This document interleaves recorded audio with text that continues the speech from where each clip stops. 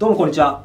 デジタルライトの根岸です。本日はですねスーパーカセットチューブの西村さんに来ていただいてます。よろしくお願いします。はいこんにちは。よろしくお願いします。僕がもともと西村さんのチャンネルをよく見ていてですね、はい、まあお会いしたいなということでご連絡をさせていただいて、はい、今日もなんか実際に来ていただきました、はい、はい、ありがとうございます。こちらこそお会いできて嬉しいです。ああよかったありがとうございます。西村さんのチャンネルの方でもやっていたあのカセットテープの発掘するという企画、はい、はいはい。ありましたね。あれ僕好きで見ていて、あれだと実際300本ぐらいでしたっけ、はい、300本に収めた感じですね。無理やりね実際はもっとあってってことですね、実際あの店舗にもちょっとそれには及ばないんですけども、カセットがあるので、今日は見ていただいて、ぜひ拝見させてください、まあいいのがあればちょっとご紹介したいと思います、はい。西村さんが言っていたそのカセットテープの発掘だったり、あとあのマニアックな悩みもかなりありますよね、はい。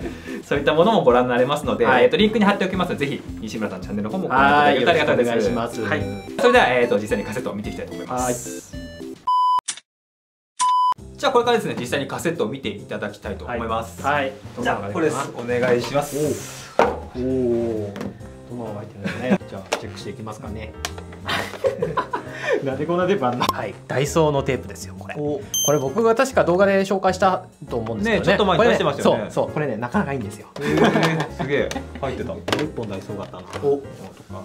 あこれとか。で皆さんご存知の AD の、まあ、ちょっと派生版みたいなやつですね。ADS でもねなぜかね ARX のケースに入ってるというね。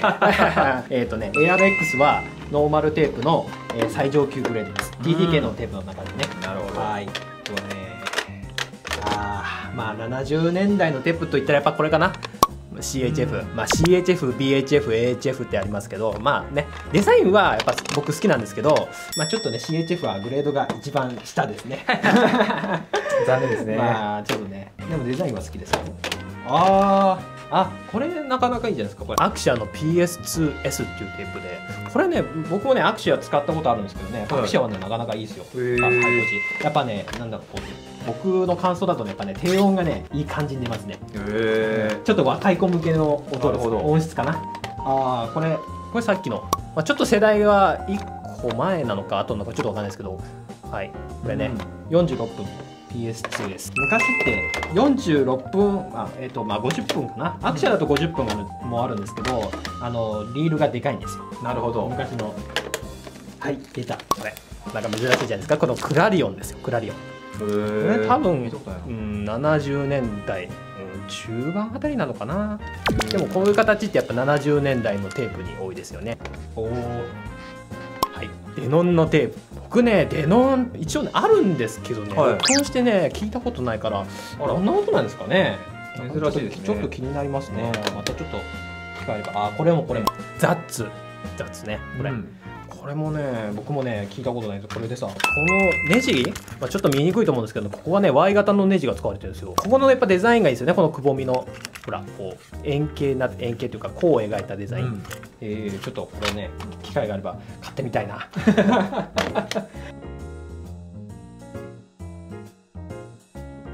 とりあえず全部はい、はい、どういうとこですかね。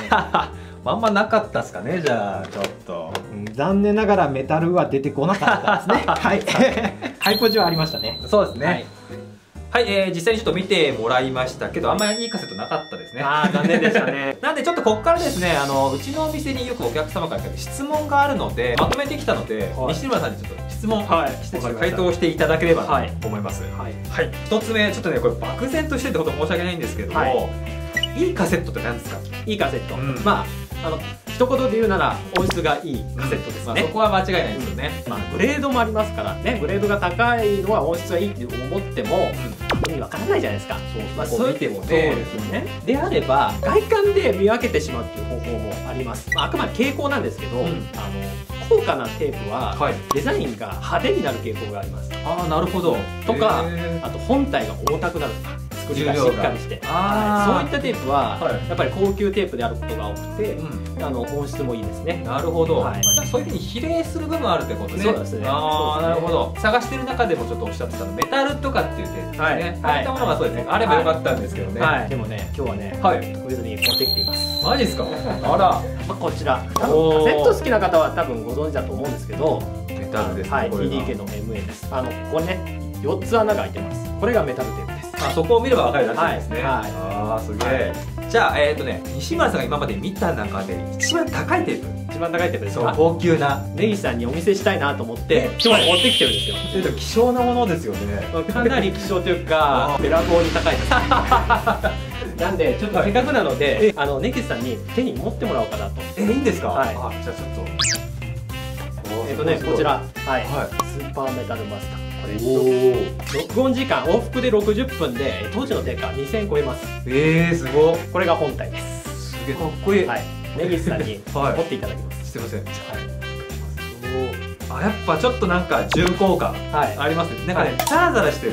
あダラダラしてます？そう。これあの何で作られてると思いますか？えー、これなんだろう。え普通はこれプラスチック？はい。普通はプラスチックですよね。え。えー、何？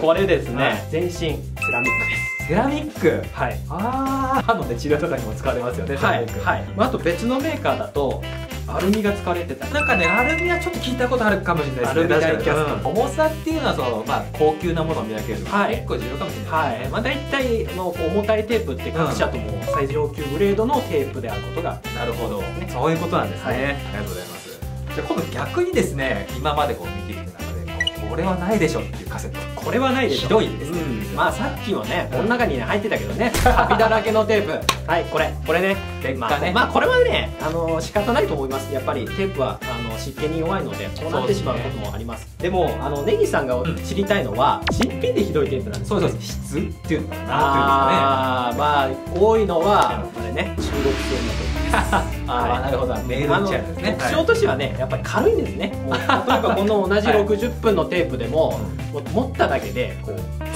ち上がるぐらい軽いんですね。さっきあの重ければ高級感っていうところで、はい。軽いとやっぱり、はい、逆を言ってます。とかまあ、あと本体の,、まあそのチープな感じじゃなくだけじゃなくて、うん。テープの質もあまりよろしくないんですね。根本的にそうなんですね、はい。まあ、音質があまり良くないっていうのももちろんなんですけど、作りもうん質が悪いということで、うん。デッキに絡みやすいというところもあるんですねなるほど。はい、とかあのヘッドを汚しやすいというところもありますねそれ一番ちょっと嫌ですよね。はい、なのでうん音質があまり良くないというよりも僕としてはあのデッキにダメージを与えてしまう可能性が高いという点が 一番の懸念ポイントかなと思います。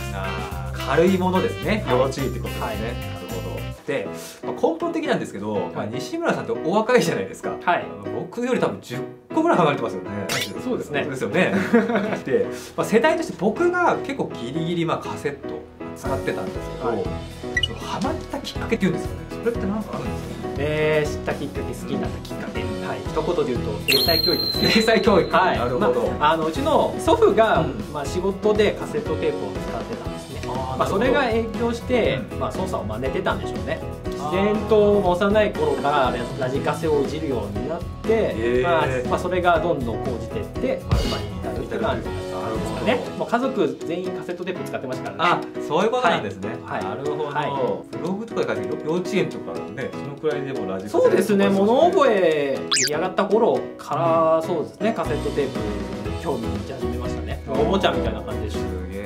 で結構ね西村さんってそのカセットじゃなくても昔のもの好きってまあ書いてらっしゃるじゃないですか。たまあそうですよね。なんかねあそうそう。ああそこら辺とかもちょっと気になりますねまあ、個人的には本当にすみませんけど、まあ、バブル世代の方だったらもしかしたら知ってるかもしれないんですけど、ランドナーっていう自転車旅行用の自転車があるんですけど、うん乗ってたかな？なんかねこうカセットテープのねうん。あの副作用があってそこまでねあの古いもの好きになってしまった なるほど。はいまあ、世代的に多分響く方はね絶対いらっしゃいますからねはいはい。じゃあちょっとこれ最終的なもので西村さんが一番好きなカセット、好きなカセットですか、ん。好きなカセッまあト、絞るのちょっとむずいかもしれないんですけど。難しいですねやっぱりみんな好きなんですけど。じゃあ今日出てきたテープの中から選びましょうか、そしたらね僕ねまあこれも好きなんですけどね。こういう音がちょっとわかんないですけど、まあうんデザインとしてはこれで音質で言うならこのアクシャがいいかな、ああなるほど。